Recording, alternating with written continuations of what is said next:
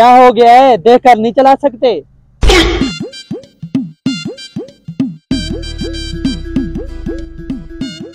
क्या है इस ड्रम में और ऐसे क्यों उठाया हुआ है? इसमें दूध है। ये हिलता है इसलिए हमने ऐसे उठाया हुआ है। अच्छा ये दूध कहाँ लेकर जा रहे हो? हम इसे बेचने शहर जा रहे हैं। सारे गाँव वाले हमें पागल कहते हैं। हम इसे बेचकर कोई काम करेंगे। ये दोनों तो वाकई पागल हैं गाँव वाले सच कहते हैं। चलो ये हमारा टाइम से हाँ हाँ सही कह रहे अरे रुको। ऐसा करता हूँ इन दोनों को साथ ले जाता हूँ। ये तो पागल है। इन्होंने कौन सा हर महीने मुझसे तनख्वाह मांगनी है? मुझे काम के लिए दो लड़कों की ज़रूरत थी। चलो मैं तुम्हें काम देता हूँ। काम कोई भी हो हम कर लेंगे। लेकिन हमारी एक शर्त है। बताओ कौन सी शर्त है तुम्हारी?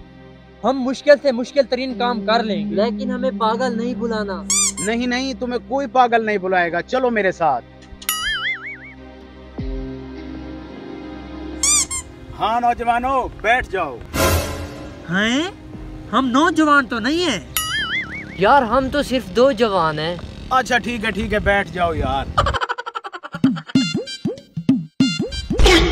ओ यार ऐसे दाखिल नहीं होते। तो फिर कैसे दाखिल होते हैं? ऐसे नहीं होते। इस तरह आप अंदर बैठो।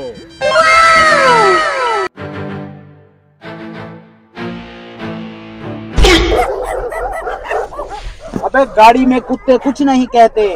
फिर ठीक है। दस मिनट के बाद।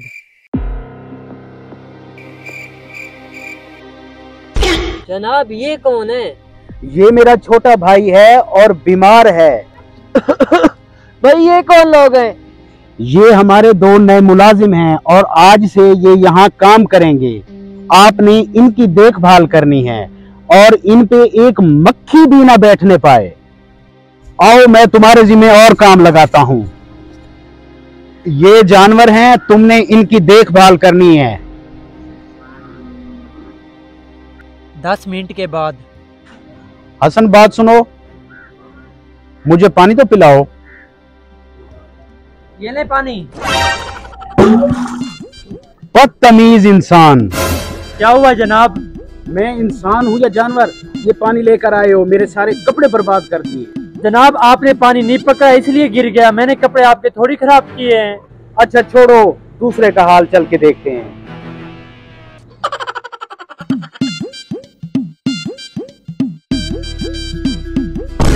क्या कर दिया मेरे भाई के साथ?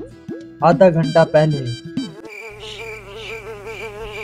फिर से मक्खी।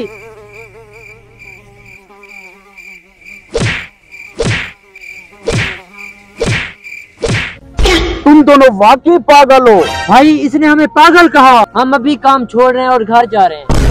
पागलों दफ़ा हो जाओ यहाँ से और मुझे कभी नज़र नहीं आना। मेरे भाई की क्या हालत कर दी तुमने?